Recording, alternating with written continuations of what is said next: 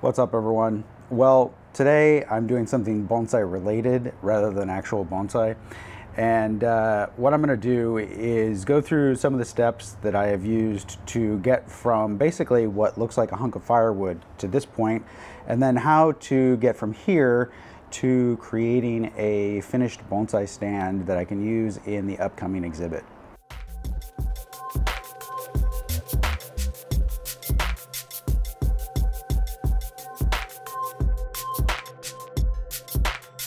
All right, well, this is not my idea, and so I'm just going to show you guys a little bit about where it comes from. So you can see in this Kokofu album that uh, there's a root stand being used for this semi-cascade tree, and this is pretty common in a lot of uh, shows in Japan where they'll have these root stands. And when I was a beginner, I could not find any information about who makes these, how they're made, what they are before they become this. You know, in other words, is it a bunch of actual fused roots that uh, someone then sort of made harder and polished up, or, or is it carved out of a block of wood or what?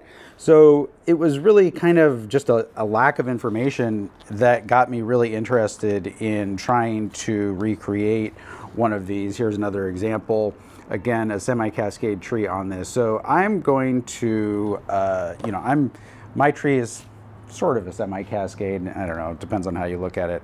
But in any case, um, I found after a while that really what it appears is that all of these are actually carved out of larger pieces of wood. And when you think about it, in bonsai display, one of the things that's really kind of difficult is to match the visual weight of the stand or slab with the visual weight of the tree. And so I imagine that basically someone modified, started modifying uh, natural roots in order to make stands like this to match the visual weight of the trees that they wanted to display. And then it sort of progressed from there. Let's rewind for a minute and uh, look at how I got from a chunk of wood that basically looked like firewood to here, and then we'll take a look at, uh, after that, what I'm gonna do next. So step one uh, was actually that I found the piece of wood, um, actually I don't even remember, this was a couple of years ago, and basically um, some people were doing some urban tree trimming. It's a piece of Monterey cypress, and so I grabbed the piece of wood. It already had a little bit of a nice shape. Uh, and in order to get it to cure, because if you take rounds like this and just let them cure from wet to completely dry without doing anything, they'll crack a lot. So I have some little cracks here, but not any big cracks. And in order to slow down the drying process, what I did was spray paint both ends with just some primer, like gray primer, and that kind of locks in the water uh, inside the wood a little bit so that it dries down more slowly and causes less cracking. After it was dry, which uh, I honestly can't say how long I left it to dry, I dug it out of my little hidey hole and took a look at it and thought, hmm, maybe this is the right size for the tree that I need a stand for. And then step one essentially was to lay it on the ground and use a chainsaw in order to strip off a bunch of the bark and start plowing some vertical channels in here. Basically accentuating the shapes that were already there. And so a lot of these, the roots that are here, just in some way based on what the wood looked like when I started. Uh, and just by sort of exaggerating that and paring it down, which is the same thing that I talked about maybe is my hypothesis for how these things came about in the first place. So once I was done with the chainsaw, I brought it back here to my shop and started using this Arbortech. And um, this is an Australian-made mini grinder, uh, which is pretty powerful. And essentially it's a, a, grinder with this attachment on it, and then it has a, a small uh, rotating wheel here. So I can plow channels, but the downside of this is that this part of this gets in the way, and that means that you can't make any really tight little shapes. So I really use this to sort of accentuate uh, those things that I started with, the, the channels that I started with the chainsaw, and then really get in there and try to hog out more material to start creating the shapes.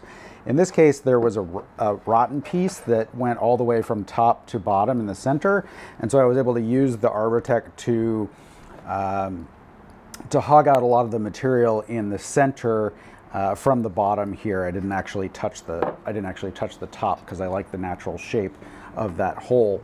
So uh, in combination with this, I actually used a drill as well. Just I just use a regular hand drill with this half inch spade bit that's quite long and I use that to drill long holes, particularly up here just under the top so that I could start to clear out the wood that would be in the center uh, where my hand is right now. And that's the hardest place to get to with a lot of these tools. Essentially, like they just can't, unless you make really big spaces here, you can't get the tool between there.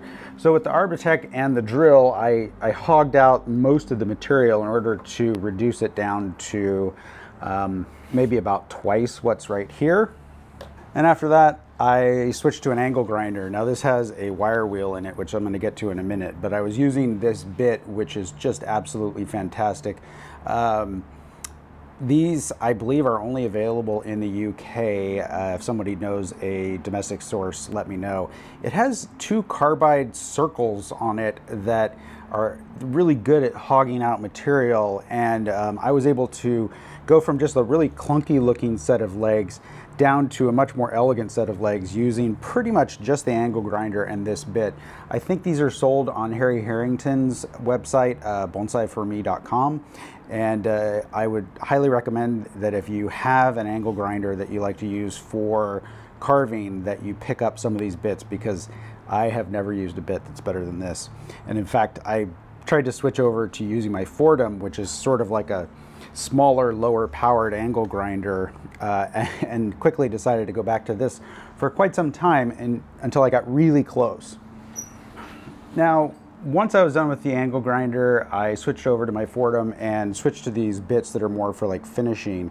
Um, this is just a fluted high-speed steel bit and I have smaller versions of this that I can use to create sort of smaller areas between uh, points here to try to create something closer to a 90 degree angle or, or an acute angle, uh, which is very difficult with a large bit like what I had in the die grinder. And then this is a carbide grit bit uh, and it acts kind of like coarse sandpaper, so I can use that to take off some of the tool marks that are uh, left by the other tools. Now, from this point forward, it actually gets quite laborious and a little bit more uh, handwork. So we'll see how that goes.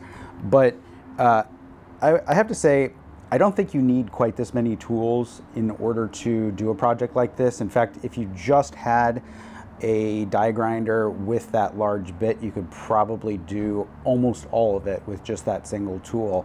Uh, it's just that I had to borrow my friend's die grinder and I guess I have the wrong tools.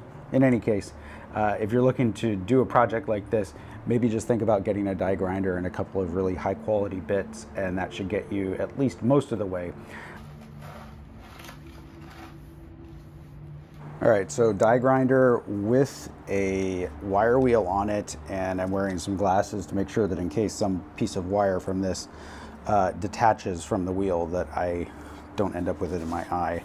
It's not gonna keep my hands free, but in any case, uh, I have already used this a couple times. So I also have this, um, so this is like a dead man switch on the die grinder, uh, which is fantastic. So if I push this down, I have it attached through a throttle pedal. And so I can use this at lower speed using the pedal, uh, then, or I can turn it all the way up to high speed. In any case, let's give this a try.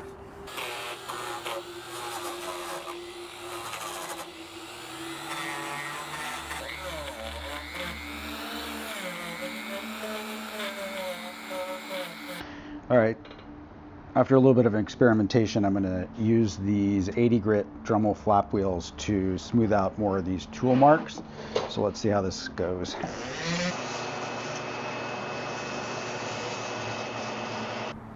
All right, I used these, uh, actually four of these Dremel flap, uh, 80 grit flap wheels, uh, and when they're when they're new, they're bigger than this, and then as you use them, they kind of wear down and, until you eventually get down to kind of a nub like this. But uh, it worked really well for smoothing out a lot of the rough edges. And now I'm just gonna follow up with some uh, hand sandpaper and maybe some filing.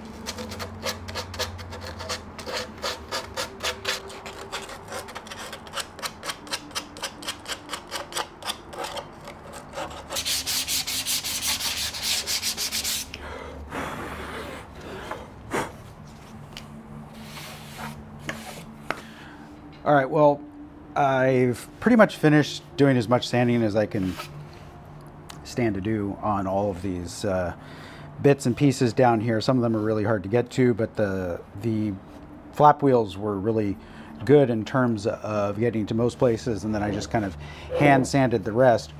It's, uh, it's looking like it's ready for some stain. Now, one of the things that's not great about Monterey Cypress, obviously, is that the color is too light to use for a bonsai stand. So I'm going to stain this with a black stain and then see uh, what else I need to do. I might have to take some additional steps, but there should be a pretty dramatic change once I start staining it, or maybe once I finish staining it. One of the things I've noticed while working with this wood is that it actually has really good kind of uh, cross grain cohesion. So like if you think about pine or, or fir or other uh, wood like that that's kind of soft. So this is sort of a little bit harder than those woods and a little bit more, um, has a little bit more tensile strength across small pieces. So I was able to carve it down to smaller than what I was expecting. But the design of the stand is also something that, you know, is sort of meant to provide stability for the different pieces. So, you know, these cross pieces, that are down here below keep these legs from being able to be tweaked and, and therefore have a, have a chance of breaking. Um, so I think, you know, creating the design to create some nice movement and interest in the roots is really good, but you also have to think about the structural integrity of the whole thing. And these guys don't have to be very big in order to provide a lot of support, sort of like the bottom of a chair. All of those pieces are that go across the bottom of a, a wood chair are pretty small, but they're very important. got some gloves on, got an old rag, piece of an old worn out t-shirt, so there's less lint, and then some black stain um, that I just tried remixing. I've had this for a while, so I probably should test it on something that I don't care about, but we'll just go with it. Uh, this is, I think it's a gel stain, but in any case, it's very, very black, as you can see. Uh, but you can just see the, the grain through it. So I'm going to go ahead and apply a bunch of this, particularly, uh, well, pretty much to every surface.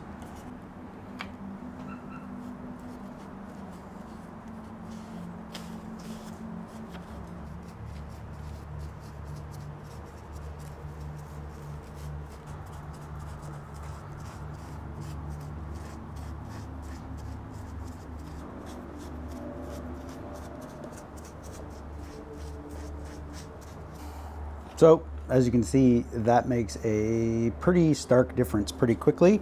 Uh, I'm going to continue doing this, finish off uh, the first coat and basically applying it with this chip brush that's working, working a lot better than the rag. And then I'll go back and wipe off any excess with the rag.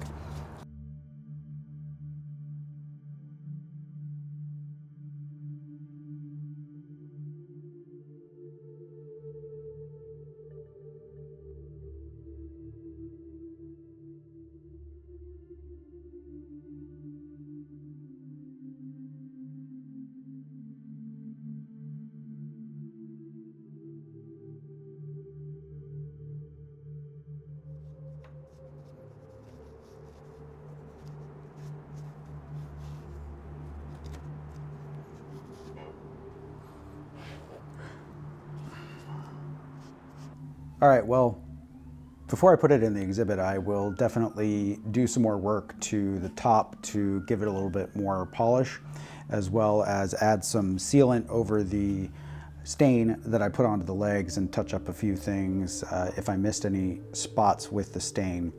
I uh, hope you guys learned something from that. I really would have enjoyed seeing a video like this 20 years ago uh, if one existed because I was really curious about how these things are made. So if you've made bonsai stands or if you've ever uh, tried your hand at carving and making some sort of root sculpture, I guess is what I would call this, leave it in the comments below. Thanks everyone for watching. We'll see you next time.